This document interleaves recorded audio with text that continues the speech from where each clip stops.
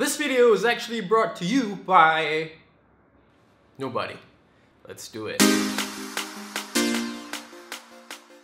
This week's video is all about online buying or how do you buy stuff online or how you should buy stuff online. Well, I'm not going to teach you actually how to buy stuff online because obviously you probably know, that's why you're an online buyer, that's why you're actively on the internet. First thing I'm going to tell you is that you shouldn't actually lowball somebody.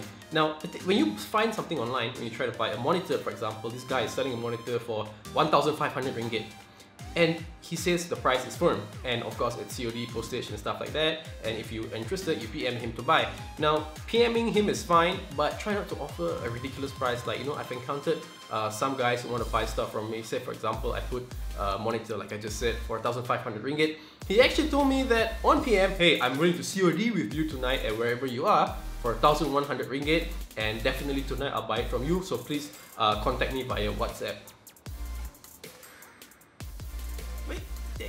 I already said it's 1500 ringgit, so I don't know why are you actually asking me to reduce the price to 1100 ringgit. And I already said specifically the price is firm. So, you know, if you don't want to buy my stuff, do not lowball me because you're going to waste your time and you're going to look really, really silly. It makes you look like you don't even know how to read, uh, but it's impossible because you're an online forum. So it just proves that you're ignorant. So, you know what? That's the first thing you should not. Do not lowball somebody. Okay? Now the second thing is that you shouldn't ask somebody to PM you if he already says that contact methods, please PM me or WhatsApp for fast reply.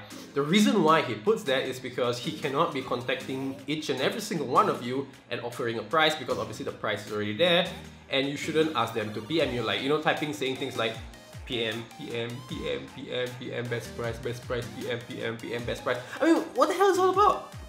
It doesn't make any sense. It's as if you do not know how to comprehend or decipher or even understand simple English, like saying PM me or WhatsApp me at a certain number. So you know, what really bugs me is that even though he already clearly says, please do not ask me to PM you because I will not PM you, you have to PM me, people do actually still say PM best price. So what the PM, PM, PM, PM.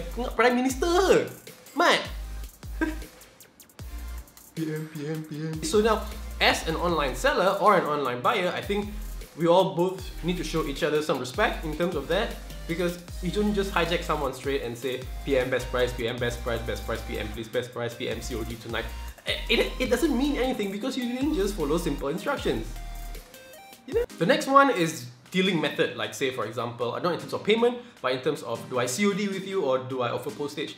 Now if someone has already said that look, his location is in Terengganu, for example, and you are in uh, maybe Selangor or Kuala Lumpur or wherever, but not Terengganu, and he says that the computer or the monitor or whatever is too big to post, do not go and message him or reply and say PM best price uh, COD or uh, COD in Kuala Lumpur or Kota Damansara or wherever. Because Mat, he already say he's in Terengganu and he can only COD in Terengganu. So if you're not in Terengganu, move on to the next thread, man. Go somewhere else.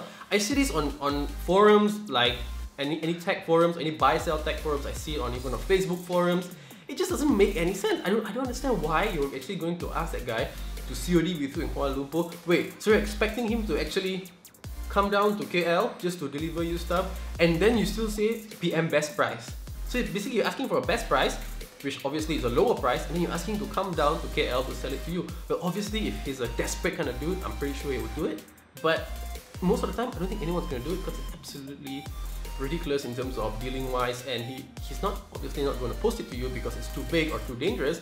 There might there might be some complications, and then if he posts it, it gets missing, and you're going to go, oh, this guy is a scammer. See, you get what I mean? So just don't do it. Just just just just learn how to read and just follow his delivery method. If you can't follow it, don't even bother asking because he already says it over there. Unless he says that, oh you know what, I'm in Terengganu, I'm coming down in KL, a specific date, we could COD there. If you can confirm the deal, then it's probably a different thing. You know? So, so you know, you know, maybe you, you, you failed your geography or you don't know all the 13 plus 1 states in Malaysia, you know, those kind of stuff. Man! Alright guys, that's all I have for this week. Do not forget to hit the subscribe button because that's the only way for me to reach out to you guys. Don't forget to leave your experiences. Um, if you have had any experiences in terms of uh, buying stuff online or meeting low ballers and stuff, feel free to share them in the comment section below. Or you know what, if you want to email me anything, you can email me at maingamebestgila at gmail.com. It simply means playing game is awesome in Malay.